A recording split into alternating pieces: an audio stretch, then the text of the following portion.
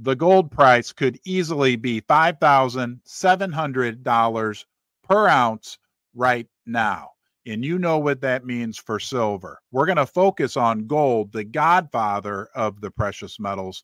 I'm going to show you historic proof that the gold price could easily be $5,700 per ounce right now. But we're also going to talk about the potential for incredible gains within the gold mining sector, in particular, the junior mining sector. I'm going to give you all the reasons why in this video. Let's get started right now.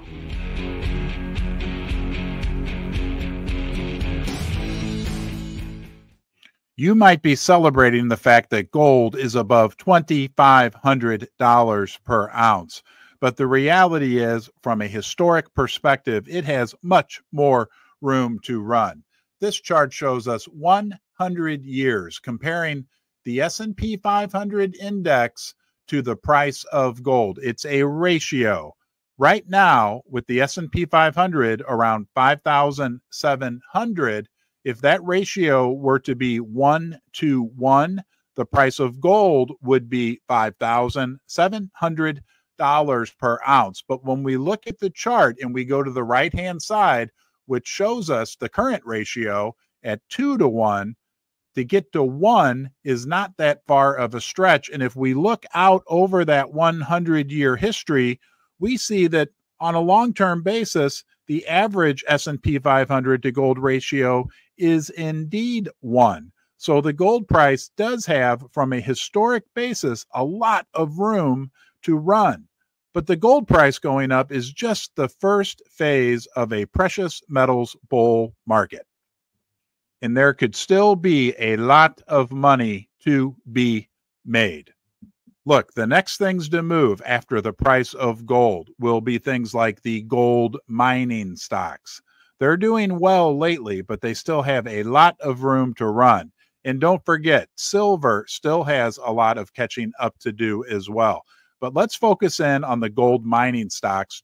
Gold mining stocks are at historic low levels. That means the value opportunity, the opportunity for capital appreciation is like nothing we've seen in the last several decades. This chart shows the ratio of the HUI index. That's a an aggregate, a combination of the value of the 15 or 16 largest gold mining companies. And as you can see, it is at historic low levels. On this chart, sitting right at 0.008, it compares the HUI index to the Dow Jones Industrial Average.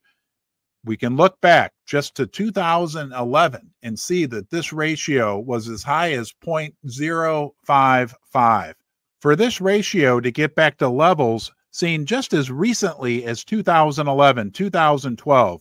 The HUI index, the big gold miners would have to go up by six times or more in price. And this is the big gold miners, the mid sized companies, the juniors, the developers, the explorers. They've been beaten down to even lower levels and offer a potential opportunity for capital appreciation like a lot of us haven't seen in our lifetimes. The sponsor of today's video is West Mining Corp. They're one of these exploration stage companies. However, they do have a resource and a big project in Canada, in British Columbia. And when you look at the value of the company, when you compare the assets that the company has to their current market cap, there is a huge, huge disconnect. Right now, as of September 23rd, 2024, their market cap on the US exchange was under 3 million US dollars. When you take a look at their balance sheet, the company has total assets of 6.4 million US dollars, which is mostly comprised of their big projects in Canada. Now they do have a little debt, about 240,000 US dollars, but when you subtract that debt from their total assets of $6.4 million, you come to 6.163 US dollars in asset value free of any debt.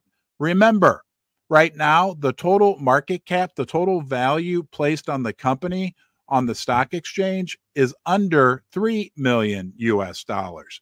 What that means is if the company ceased operations and were able to sell those assets for what they're carried on their books at around $6 million, that would double the share price almost immediately. West Mining is a great example of the value opportunity, the opportunity for capital appreciation that's available right now throughout the entire gold exploration sector.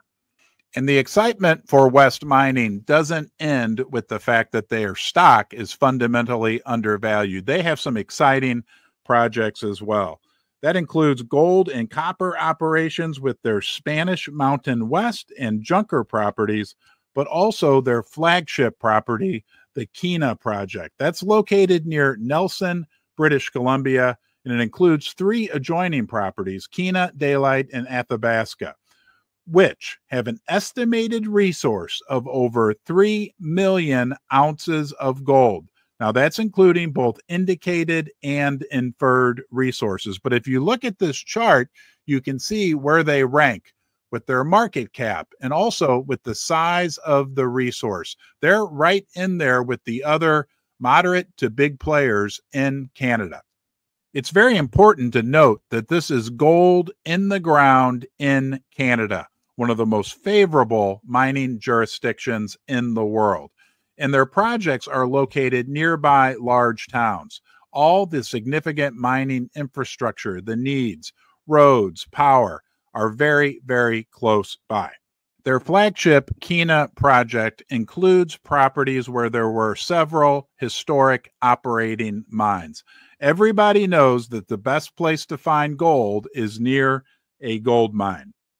West Mining also has great exploration potential. Their projects are located along a well known mineralized trend and has significant exploration potential. One of the areas is called the British Columbia's Golden Arc. West Mining Corp is a company with solid assets, but they're trading at a steep discount to their book value.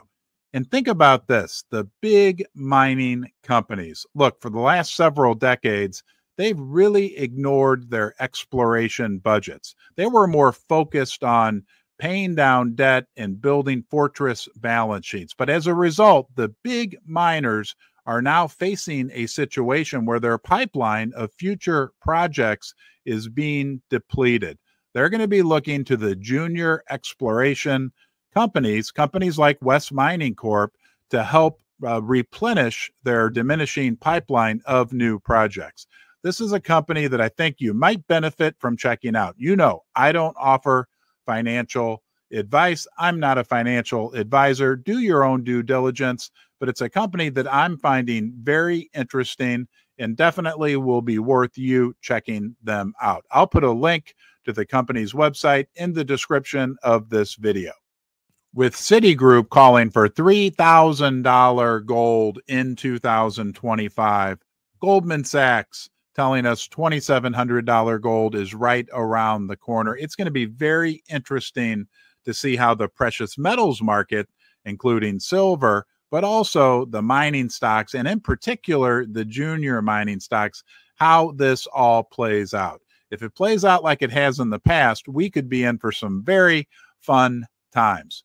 Hey, I appreciate you joining me here in the basement. You know, you are the most important part of Ron's basement. I want you to come back. Please subscribe to the channel. Give this video a thumbs up. You can share it with whoever you like. Most important, be well, and I'll see you next time.